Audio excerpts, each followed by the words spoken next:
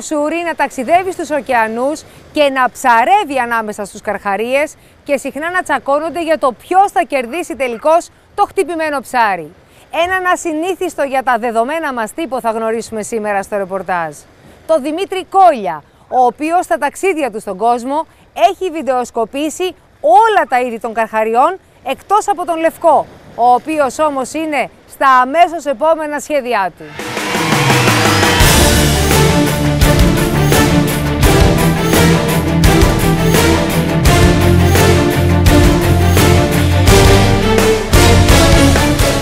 Ο Δημήτρης Κόλιας έχει χτυπήσει ένα ροφό με το ψαροτούφεκο στα Florida Keys, αλλά δεν προλαβαίνει να τον ανεβάσει στην επιφάνεια. Ένας γκρίζος καρχαρίας των υφάλων εμφανίζεται και αμέσως φέρνει το ψαροτούφεκο μπροστά προκειμένου εάν χρειαστεί να αντιδράσει. Μέσα σε λίγες στιγμές ένας δεύτερος καρχαρίας επιτίθεται στο ψάρι, ενώ εμφανίζεται και ένας τρίτος, ο οποίος κάνει κύκλους γύρω τους. Τα μεγάλα ψάρια αρχίζουν να δαγκώνουν με μανία το ροφό και η παρέα των ψαροκυνηγών παρακολουθεί αν μπορεί να αντιδράσουν. Όμως, όταν ο ένας καρχαρίας νιώθει ότι ο Δημήτρης βρίσκεται πολύ κοντά του, γυρνάει και επιτίθεται προς το μέρος του.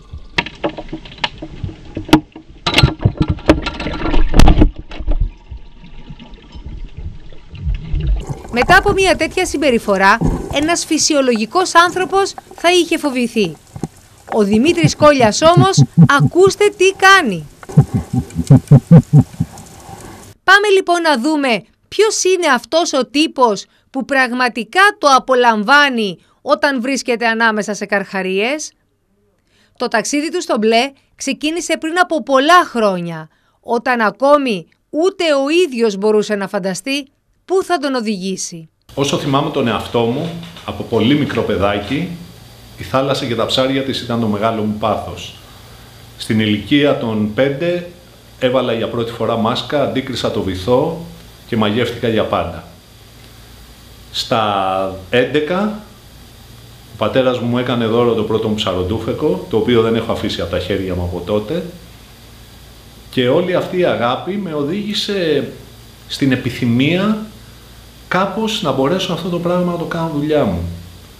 Όταν ήμουν 13-14 χρονών και πεζόντουσαν τα ντοκιμαντέρ του Κουστός στην τηλεόραση, με κάποιο τρόπο ήθελα και εγώ να κάνω το ίδιο όταν μεγαλώσω. Τελικά τα κατάφερα αρκετά αργότερα. Ξεκίνησα ερασιτεχνικά να στέλνω άρθρα σε ένα παραδοσιακό έντυπο του χώρου. Αργότερα έγινα αρχισυντάκτης και το 2004 ξεκίνησα το δικό μου περιοδικό για την ελεύθερη κατάσταση και το ψαροντούφεκο. Αυτό μου έδωσε μία όθηση να ταξιδέψω λίγο παραπάνω στις θάλασσες του κόσμου και εκεί αντιλήφθηκα ότι δεν υπάρχει ανάλογο έντυπο στον κόσμο με διεθνή απήχηση. Έτσι ένα μεγάλο μου όνειρο έγινε πραγματικότητα το 2009. Ξεκίνησα ένα περιοδικό στα αγγλικά που πλέον κυκλοφορεί σε 17 χώρες. Έχει συνδρομητές και ένθερμους οπαδούς από όλο τον κόσμο. Αυτό ήταν το μεγαλύτερο κίνητρο για να αρχίσω τα ταξίδια. Έτσι λοιπόν πλέον ταξιδεύω συνέχεια, κάνω 7-8 ταξίδια το χρόνο στους ωκεανούς και έχω βουτήξει όλους τους ωκεανούς. Γιατί είναι η δουλειά μου. Σκεφτόσαστε κάτι καλύτερο; Εδώ ο Δημήτρης κολυμπάει στην επιφάνεια όταν ξαφνικά βλέπει ένα nurse shark, καρχαρία νοσοκόμο σε ελεύθερη μετάφραση, ακίνητο στην άμμο. Δεν χάνει καιρό. Αμέσως βουτάει, πάει δίπλα του, τον βιντεοσκοπεί, μαζί και τον εαυτό του και πριν φύγει του ρίχνει και ένα χάδι.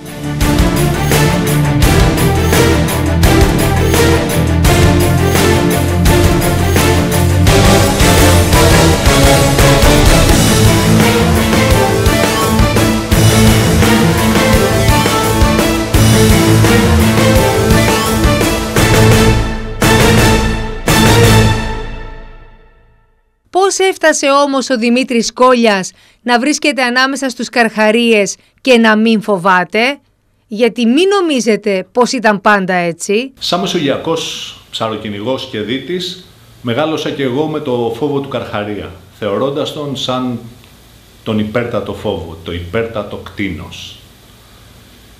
Αυτό κάπως πήγε να αλλάξει εκεί στα μέσα της δεκαετίας του 70, όταν σε πνευσμένες στιγμές της η κρατική τηλεόραση προέβαλε τα ντοκιμαντέρ του Ζάκη Κουστό.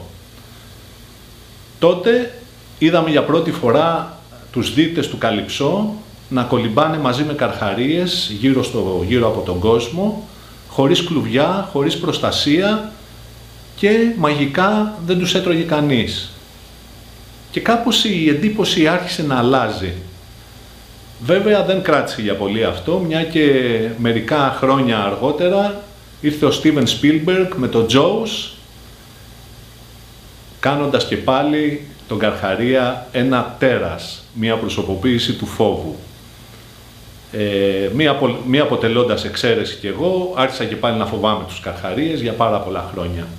Ώσπου το 1997 γνώρισα στην Ήο έναν Αυστραλό ψαροτουφεκά, πάρα πολύ καλό, πρωταθλητής στη χώρα του, με τον οποίο ε, ανταλλάξαμε πολλές ιστορίες και στις δικές του ιστορίες υπήρχε πάντα ένας ή περισσότεροι καρχαρίες. Και μου είχε κάνει πάρα πολύ εντύπωση αυτό το γεγονός. Πώς δηλαδή υπάρχουν άνθρωποι που κολυμπάνε και ψαρεύουν μαζί με καρχαρίες. Μου φαινόταν αδιανόητο.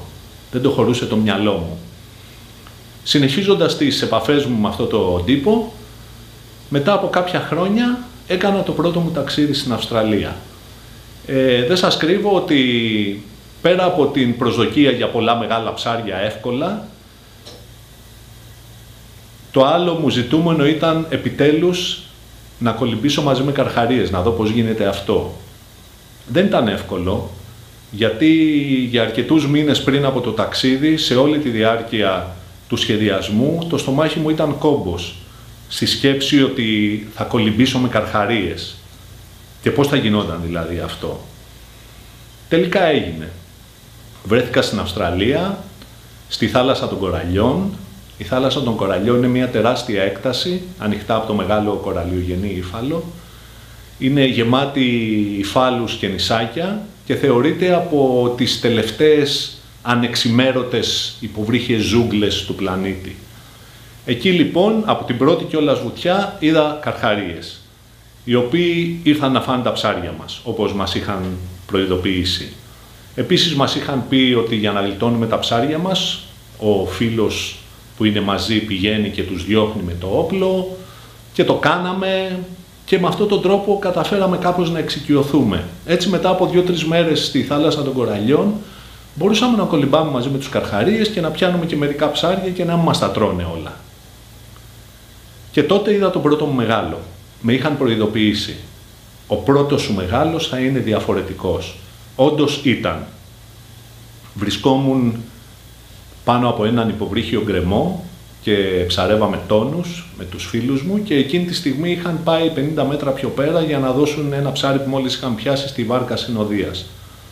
Και εκείνη ακριβώς τη στιγμή της μοναξιάς μου διάλεξε ένας μεγάλος καρχαρίας τίγρης να έρθει προς τα πάνω μου. Ε, ο τρόμος ήταν ανίποτος. Στιγμιαία μου ήρθαν φοβεροί συνειρμοί, ό,τι άσχημη πληροφορία είχα ακούσει για αυτούς, για τον Καρχαρία Τίγρη, ότι είναι ανθρωποφάγος, ότι παραλάσσεται τέλεια, γίνεται stealth και δεν τον βλέπεις και σου επιτίθεται από πίσω. Και θυμάμαι να αναδύομαι μέσα σε πλήρη πανικό. Βγήκα έξω, έβαλα τις φωνές, φώναξα τη βάρκα η οποία όταν ήρθε έκανε ένα άλμα που θα το ζήλευε και ο Σεργέη Μπούμκα και βρέθηκα μέσα στη βάρκα με τα γόνατά μου να τρέμουν, όπως με ένα παράξενο τρόπο ήμουν πάρα πολύ ευτυχισμένος. Που είχα δει τον πρώτο μου καρχαρία τίγρη. Και μάλιστα ένιωσα ότι η παρέα μου με ζήλεψε εκείνο το βράδυ. Ε, στο ίδιο ταξίδι, μετά από τρεις μέρες και έχοντας πλέον νιώσει ότι είμαι βετεράνος, τα έχω δει όλα, Βρισκόμουν σε ένα σημείο με άλλους δύο και ψαρεύαμε πάλι για τόνους, ρίχνοντας δολώματα στη θάλασσα. Είναι μια μέθοδος που χρησιμοποιούμε στον ωκεανό. Και κάποια στιγμή ήρθε ένας καρχαρίας τίγρης μικρού μεγέθους, γύρω στα τρία μέτρα. Τον αποθήσαμε με τα όπλα όπως συνηθίζουμε και έφυγε και πάει στο βυθό και έτρωγε τα δολώματα. Νιώθοντας λοιπόν μεγάλη αυτοπεποίθηση, πήρα την κάμερά μου και κατέβηκα όσο πιο κοντά του γίνεται και τον βιντεοσκοπούσα όπου κάποια στιγμή κοίταξα προς τα βαθιά, γιατί εκεί ο βυθός κρεμούσε στην Άβυσσο, είδα μια μικρή άσπρη κουκίδα, η οποία πάρα πολύ γρήγορα έγινε ένας μεγάλος καρχαρίας τίγρης, ο οποίος ερχόταν πάνω μου με διάθεση να με φάει. Πιστέψτε με, ήθελε να με φάει. Είναι κάτι που οι άνθρωποι που ζουν στη φύση το καταλαβαίνουν. Αποκτάμε μια διαστητικότητα και σε αυτό το ψάρι αμέσως είδα ότι με αντιμετώπιζε σαν φαγητό. Ε, ένιωσα πρωτόγνωρα εκείνα τα δευτερόλεπτα, γύρισα πίσω στους πρωτόγονους ανθρώπους όταν ο άνθρωπος ήταν μέρος της τροφικής αλυσίδας, όταν κινδύνευα από άγρια ζώα και μπορώ να πω ότι ήταν μια αφυπνιστική στιγμή. Κοίταξα μέσα μου πολύ έντονα και με έναν φοβερό τρόπο ήμουν πάρα πολύ ψύχρεμος. Προφανώς η αδρεναλίνη είχε ξεπεράσει το φόβο που με κατέκλυζε γιατί φοβόμουν πάρα πολύ, αλλά ένιωθα ψύχρεμος και παγωμένος. Είχα στρέψει την κάμερα προς τον Καρχαρία και ανέβαινα ενώ εκείνος έδινε μασελιές κάτω από τα πέδιλά μου. Ευτυχώς ήρθε ένας φίλος, τον απόθυσε με το όπλο του και μπόρεσα και βγήκα στην επιφάνεια, χωρίς να μου δαγκώσει ούτε καν τα πέδιλα. Ε, αυτό το ζώο αποδείχθηκε πολύ άγριο γιατί μας επιτέθηκε δύο-τρεις απανοτές φορές σε όλους μαζί, τον σπρώξαμε με τα όπλα, στο τέλος έφυγε. Το δυσάρεστο ήταν ότι ανακάλυψα ότι πάνω στο πανικό μου, ενώ νόμιζα ότι βιντεοσκοπώ, είχα πατήσει δύο φορές το κουμπί της βιντεοσκόπησης και είχα πατήσει ήταν στο pause, το ανακάλυψα στην επιφάνεια και έγινα πάρα πολύ δυστυχισμένος. Ενώ ήμουν το πρόσωπο της ημέρας στο σκάφος, επειδή είχα γλιτώσει από την επίθεση του Καρχαρία Τίγρη, εγώ ήμουν στεναχωρημένος γιατί έχασα ένα απίστευτο βίντεο. Έτσι λοιπόν, ζήτησα εθελοντές και βρήκα και το άλλο πρωί πήγα στο ίδιο σημείο ρίξαμε όσα δολώματα μπορούσαμε, μήπως ξαναέρθει ο Καρχαρίας Τίγρης, αλλά δεν ήρθε. Στη θέση του βέβαια ήρθε ένας μεγάλος φυροκέφαλος, πολύ μεγάλος, γύρω στα 5 μέτρα, και πέρασα μαζί του μισή ώρα βιντεοσκοπώντας τον, κάνοντας το πρώτο σοβαρό βίντεο καρχαριών στη ζωή μου. Σε σύγκριση με τον τίγρη μου φάνηκε ένα πολύ συμπαθητικό, αν θέλετε, ένα πολύ ήρεμο ζώο, το οποίο μάλλον περιέργεια είχε για μένα και όχι επιθετικότητα, και αφού εξάντλησε την περιέργειά του, έφαγε όσα δολώματα μπορούσε και έφυγε, αφήνοντάς μου ένα μόνιμο κουσούρι να βιντεοσκοπώ καρχαρίες, που είναι πλέον από τις βασικές μου ενασχολήσεις. Έχω γυρίσει, έχω βουτήξει όλους τους ζεστούς ωκεανούς, Ινδικό, Ατλαντικό και Ειρηνικό και είμαι ο μοναδικός Έλληνας που έχει βιντεοσκοπήσει καρχαρίες και μάλιστα έχω βιντεοσκοπήσει όλα τα είδη καρχαριών στο φυσικό τους περιβάλλον, έξω από κλουβιά, με ελεύθερη κατάδυση, εκτός από το λευκό. Ε, η βιντεοσκόπηση του λευκού καρχαρία είναι στα άμεσα σχέδιά μου. Τους, τους υπόλοιπους τους συναντώ πλέον σε όλη τη διάρκεια του χρόνου και περνάμε πολύ καλά μαζί. Έχω αποκτήσει πολύ μεγάλη ψυχραιμία και εξοικείωση και αυτό είναι κάτι που το καταλαβαίνουν αμέσως. Οι καρχαρίες είναι πολύ διαισθητικά όντα, σκανάρουν τα πάντα με τα όργανα, με τα αισθητήρια όργανα που έχουν, ξέρουν αν είσαι άρρωστος, αν είσαι χαρούμενος, αν είσαι λυπημένος, αν είσαι θήτης και αν είσαι θύμα και αν είσαι φαγητό. Και αυτό για αυτούς παίζει σημασία. Ο άνθρωπος λοιπόν δεν είναι φαγητό των καρχαριών. Και αν καταφέρει να το ακτινοβολεί αυτό μέσα στο νερό, δεν έχει κανένα πρόβλημα. Εγώ δεν έχω κινδυνεύσει. Έχουν υπάρξει φορές που έχουν έρθει πάρα πολύ κοντά μου, τους πρόχνεις, τους χτυπάς λίγο με την κάμερα, φεύγουν. Στο 99% των περιπτώσεων είναι εκεί γι' αυτό. Απλά πρέπει πάντα να είσαι σε εγρήγορση και να προσέχεις γιατί είσαι στον κόσμο τους. Ε, είναι πάρα πολλά ψάρια, πεινάνε πάρα πολύ και είναι λογικό να θέλουν να, να φάνε τα ψάρια που πιάνουμε. Και επειδή εμείς αυτό κάνουμε, κάνουμε ψαροντούφεκο με στους καρχαρίες, είναι λίγο η κατάσταση έντονη, έχει πολύ αδρεναλίνη, είναι πολύ ανταποδοτικό σε συναισθήματα, απλά χρειάζεται λίγο παραπάνω προσοχή. Και οπωσδήποτε χρειάζεται να μείνει σε μόνος σου, να είσαι μαζί με άλλους. Έτσι δεν υπάρχει κανένα πρόβλημα πουθενά.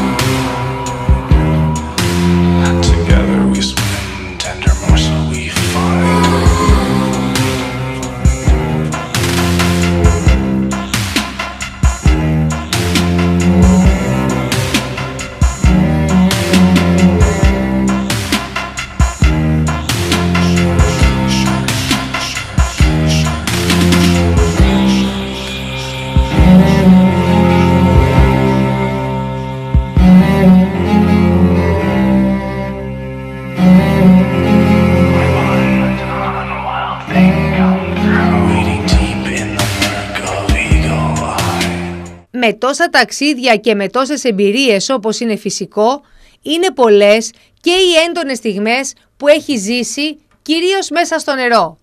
Ποιες είναι αυτές όμως που θυμάται περισσότερο; Κάθε στιγμή στη θάλασσα είναι από μόνη της μία περιπέτεια, είναι έντονη. Ωστόσο, αν έπρεπε να ξεχωρίσω την πιο έντονη στιγμή μου, θα ήταν πάνω από μία. Μπορώ να πω, ήταν μια πολύ έντονη στιγμή όταν έπιασα το πρώτο μου μεγάλο ψάρι, ένα μεγάλο ροφό. Ήταν πολύ έντονη στιγμή όταν είδα τον πρώτο μου καρχαρία. Επίσης πολύ έντονη στιγμή ήταν όταν μου επιτέθηκε ο πρώτος μου καρχαρίας. Ωστόσο, ξεχωρίζω από όλες όταν ε, ένας φίλος που κολυμπούσαμε μαζί στον ωκεανό κινδύνεψε πολύ σοβαρά όταν μετά από ένα χτύπημα ιστιόψαρου, το ιστιόψαρο είναι ένα ψάρι σαν τον ξηφία που γίνεται μεγάλο και είναι πάρα πολύ δυνατό, αυτό λοιπόν το ιστιόψαρο τον έμπλεξε με τα σχοινιά και πήγε να τον πνίξει μπροστά στα μάτια μου. Ε, με ψυχραιμία και πολύ τύχη καταφέραμε και τον ξεπλέξαμε και σήμερα είναι μαζί μας, κολυμπάμε μαζί, χαιρόμαστε και αυτή η έντονη στιγμή έχει γίνει μια πολύ όμορφη ιστορία την οποία θα διηγούμαστε για πολλά χρόνια. Πολλές φορές ο Δημήτρης Κόλιας και η παρέα του έχει χρειαστεί να σπρώξουν τους καρχαρίες που τους πλησιάζουν επικίνδυνα με την κάμερα ή με τη μύτη του ψαρωτούφεκου, όπως συμβαίνει εδώ, στη θάλασσα των κοραλιών στην Αυστραλία, με ένα καρχαρία με ασημένια άκρα, ο οποίος όμως δεν τρομάζει. Απομακρύνεται για λίγο, κάνει μερικούς κύκλους και επιστρέφει. Οπότε οι ψαροκυνηγοί αναγκάζονται και πάλι να τον διώξουν.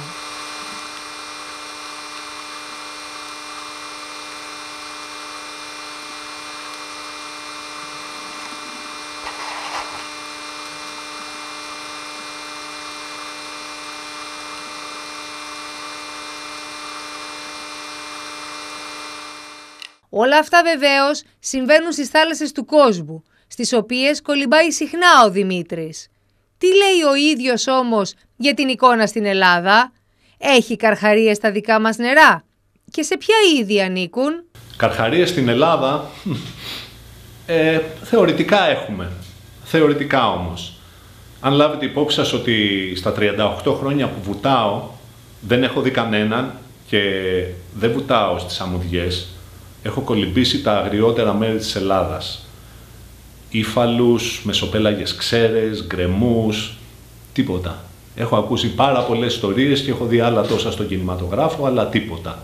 Μία φορά, μόνο πριν από καμιά δεκαπενταριά χρόνια, ήμουν στα Μέθαινα και φευγαλέα μέσα στη θολούρα είδα μία σιλουέτα, μία ουράνα στρίβη που πιθανόν να ήταν ένας καρχαρίας. Ε, εξάλλου εκείνη η περιοχή έχει πολύ βαθιά νερά και φημίζεται για την παρουσία τους. Επίσης ε, έχω ακούσει διηγήσεις φίλων και έχω δει βίντεος και φωτογραφίες στη Νότια Κρήτη, στη Ρο, στο Καστελόριζο, ε, βλέπουν από ένα ψαράκι. Όμως αυτό το είδος που υπάρχει στη Μεσόγειο, ο, καρχαρί, ο γκρίζος καρχαρίας, ο καρκαρίνους πλούμπεους, δεν θεωρείται, δεν είναι ανθρωποφάγος. Ε, έρχονται από περιέργεια και ίσως να φάνε κανένα ψάρι. Υπάρχουν και κάνα δυο ακόμα είδη, ο σαπουνάς, η αλεπού, που είναι τελείως, τελείως ε, ακίνδυνα. Ε, εικάζεται ότι υπάρχουν λευκοί. Το έχουν πει οι επιστήμονες, δεν μπορώ να τους φέρω αντίρρηση. Ωστόσο, σε μία έρευνα που έγινε πριν από μερικά χρόνια στην Αδριατική, ειδικά για να εντοπίσουν λευκούς, δεν εντόπισαν κανέναν. Βρήκαν μερικούς γαλάζιους, αυτά. Ε, μην έχετε κανένα πρόβλημα. Κολυμπήστε άφοβα ακόμα και στη βαθύτερη θάλασσα. Η Ελλάδα δεν έχει καρχαρίες. Μακάρι να είχε, γιατί θα ήθελα πάρα πολύ να τους βιντεοσκοπήσω. Δεν είναι μόνο ότι ψαρεύει ανάμεσά τους, ενώ ξέρει ότι ως κυνηγοί που είναι θα επιτεθούν στα θυράματά του. Είναι και ότι τους αναζητά μανιωδώς. Εδώ βρίσκεται στις Μπαχάμες και σε μία βουτιά τραβάει τον εαυτό του με την κάμερα. Κάποιος που δεν τον ξέρει θα έλεγε πως θαυμάζει το βυθό γύρω του. Η αλήθεια είναι όμως πως εκείνος περιμένει κρατώντας την αναπνοή του μήπως εμφανιστεί κάποιος καρχαρίας. Και πράγματι, ξαφνικά εμφανίζεται όχι ένας, αλλά δύο γκρίζοι καρχαρίες, οι οποίοι κολυμπούν ανενόχλητοι δίπλα του.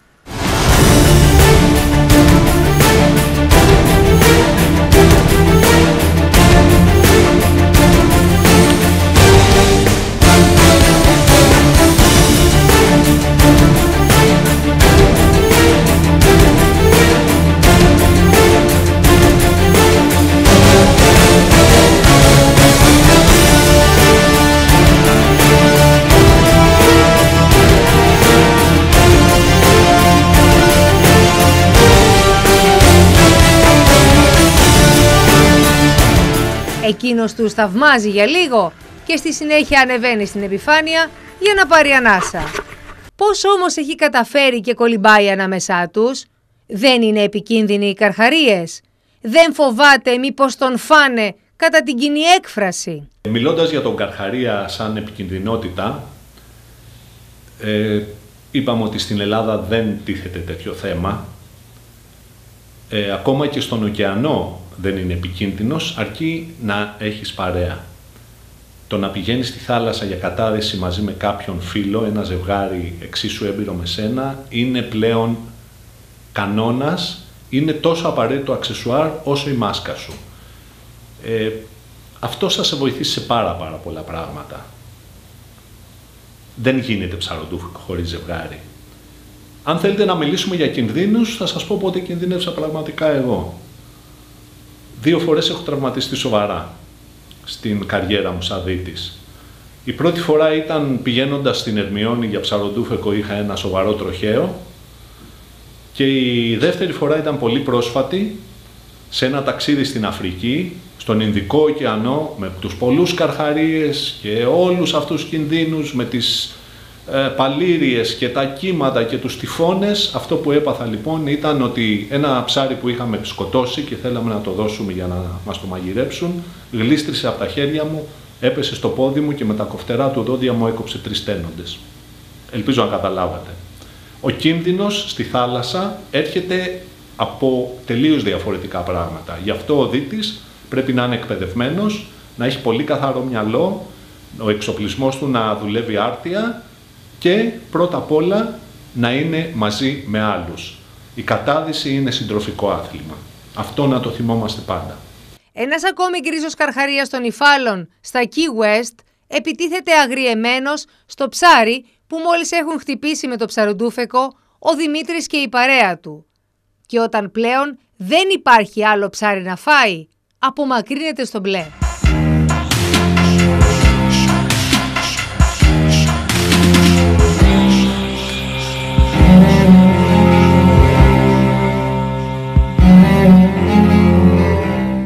Τα τελευταία δέκα χρόνια που ο Δημήτρης Κόλιας γυρίζει τον κόσμο, έχει πάει σε μερικές από τις πιο εντυπωσιακές θάλασσές του.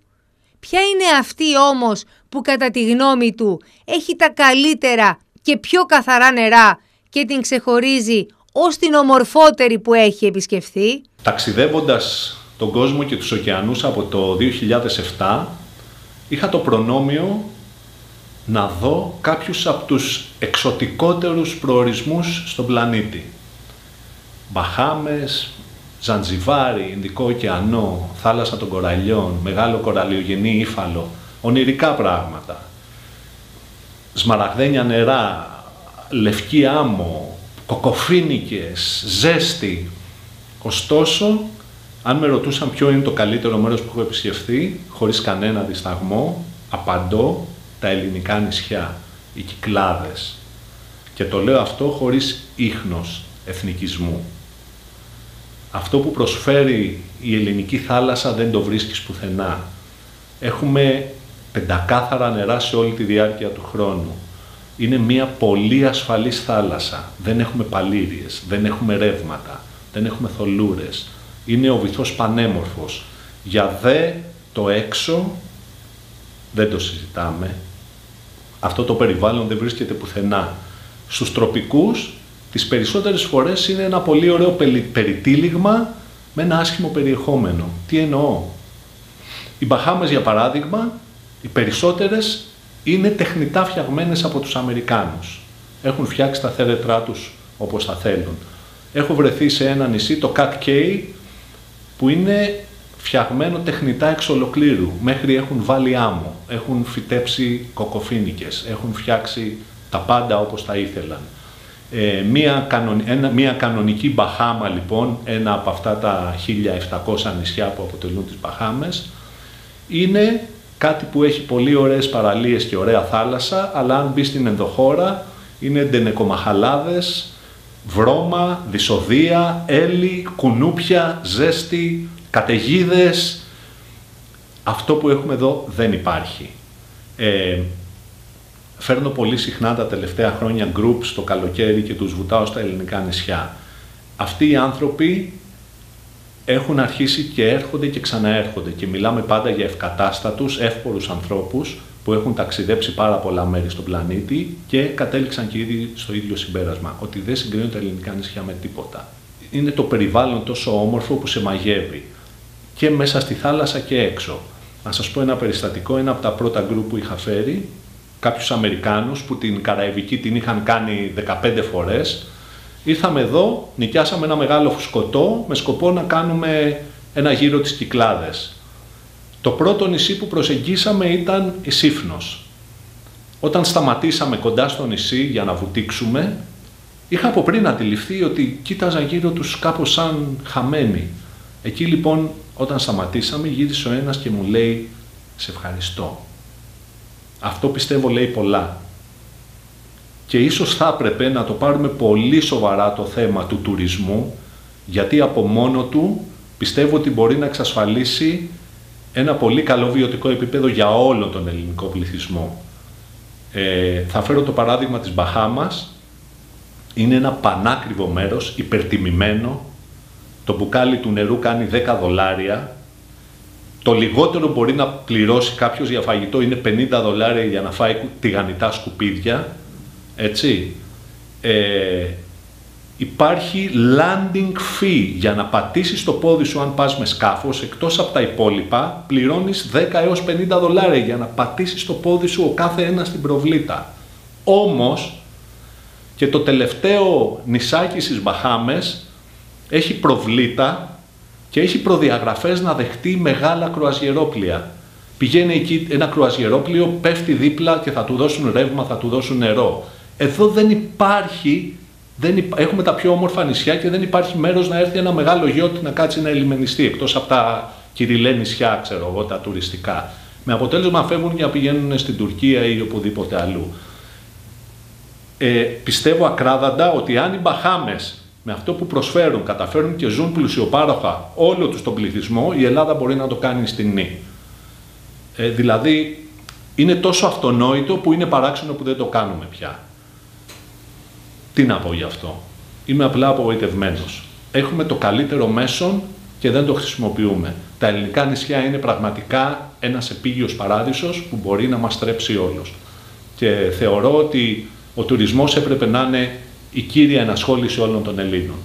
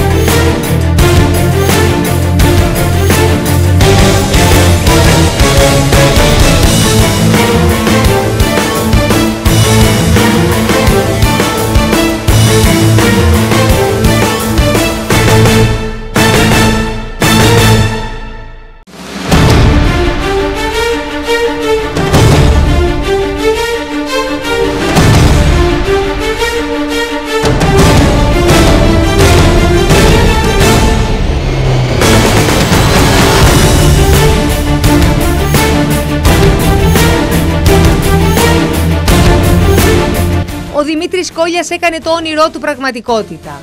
Έχει ένα επάγγελμα που του επιτρέπει να ταξιδεύει σε όλο τον κόσμο και να εξασκεί το ιδιαίτερο η αλήθεια είναι χόμπι του και έχει βάλει πλώρη για τη βιντεοσκόπηση του απόλυτου κυνηγού, του μεγάλου λευκού καρχαρία. Εμείς να του ευχηθούμε να τον συναντήσει σύντομα και να μην ξεχάσει να πατήσει το κουμπί της εγγραφής στην κάμερα.